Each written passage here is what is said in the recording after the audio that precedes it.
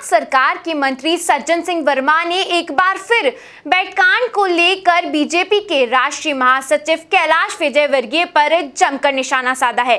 मंत्री सज्जन सिंह वर्मा ने कहा, कैलाश विजयवर्गीय बाहुबली हैं। वे अब हॉकीबाजी करेंगे। वहीं एमपी में कैलाश विजयवर्गीय की एंट्री को लेकर जमकर हमला बोला। देखिए रिपोर्ट। बैठकांड पर मंत्री सज्जन का एक और बड़ा बयान। कहा, बल्लेबाजी के बाद हॉकीबाजी करेंगे कैलाश? है, बोले मंत्री सज्जन सिंह वर्मा।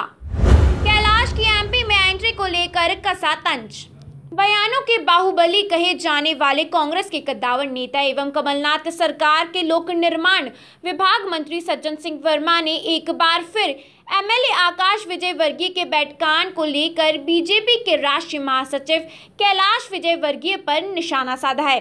उन्होंने कहा, कैलाश बाहुबली हैं, अब वे हॉकीबाजी करेंगे।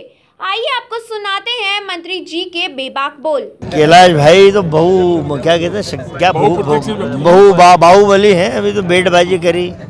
अब और कोई सी बल्लेबाजी हाकीबाजी करेंगे। वहीं एमपी में कैलाश विजयवर्गीय की एंट्री पर मंत्री सज्जन सिंह वर्मा ने तंज कसते हुए कहा शिवराज नरोत्तम और गोपाल भार्गव सुखी हैं। वे विजयवर्गीय को एमपी में लाकर कोई नया बवाल खड़ा नहीं करना चाहते हैं। वहीं प्रदेश में घोटालों की जाँच को लेकर हमला बोला।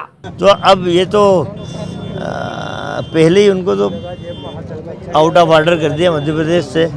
तो अब ये तो शिवराज को सोचना है, गोपाल भार्गव को सोचना है, नरोत्तम मिश्रा को सोचना है कि वो तीनों चारों सुखी हैं कि नया बवाल लाएँगे उसको लाके। बिल्कुल पूरी तैयारी है फ़ाइल वेल सब खुल गई, जाँच की रिपोर्ट भी लगभग तैयार है। मैं समझता हूँ कि अगले सत्र में ये सारा सारा पोल खुलेगी सिंहस्थ का घोटाला पेंशन घोटाला हो सकता है डंपर घोटाला भी उठ के आ जाए ये घोटाले से। अब ये तो जो भी अपराधी है उसमें रहेगा जिसने इस प्रदेश की जनता की गाड़ी कमाई का पैसा भ्रष्टाचार के माध्यम से खाया उन लोगों का पैसा पेंशन जो मजलूम होते हैं जो गरीब दुखियारे होते हैं उनको उनको पेंशन मिलती है।